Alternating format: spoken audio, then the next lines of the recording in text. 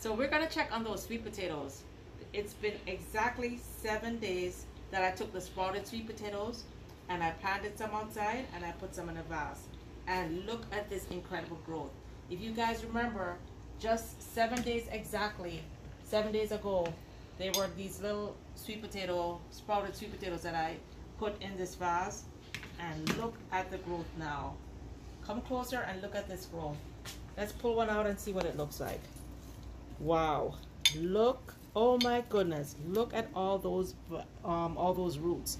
From these roots, we're gonna have tons of sweet potato. Here's how you take it and, and um, separate it. I'm using a clean pair of shears. You can also use a knife or just break it apart. And I'm gonna break each one. And each one of these is gonna be its own plant. So that's one plant. I'm gonna cut it again right here. Here's another plant. So you make sure that you have not just the vine, but you have the leaves. Eh, you have the roots, not just the vine with the leaves, but you also have roots. And then this one, I could leave it as is, but I'm gonna cut this one more time. So just like that, I have four separate plants to plant in my garden.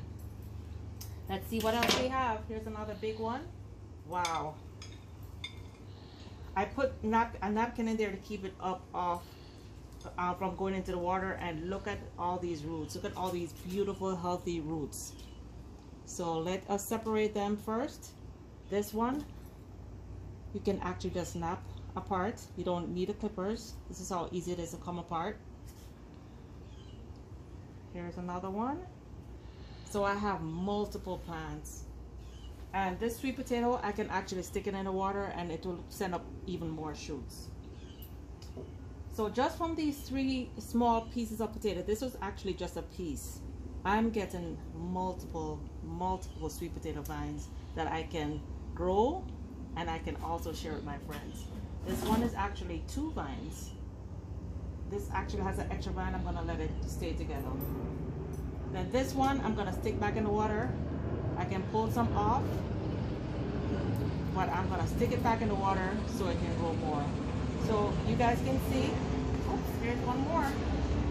There are two more in here. All right, you guys can see, just from using your old sweet potatoes that you were probably gonna throw away because they were sprouting, that look like this, you probably are gonna dump them anyway. No, don't dump them. Add them to water and you too can have multiple plants. Look at these sweet potatoes. Look at all these sweet potato vines you got. From each of these um, sweet potatoes, uh, sweet potato vines, I'm gonna have pounds and pounds of sweet potatoes. You can grow these in the bag, in a grow bag. You can grow them in a large container, or if you have space in your garden, you can grow them in your garden. Be sure to use very rich soil be sure that the soil is very loose because the, these roots have to be able to go, go down through the soil. If you're gonna grow it in a bag, be sure to use potting soil, like a, a good potting soil mix. I love Kellogg's potting soil mix. Or you can use raised bed mix if you're gonna put it in a garden. Um, always add either bone meal or rich organic um, fertilizer. Be sure that whatever soil you use, be sure that it's organic because we don't want pesticides in our body.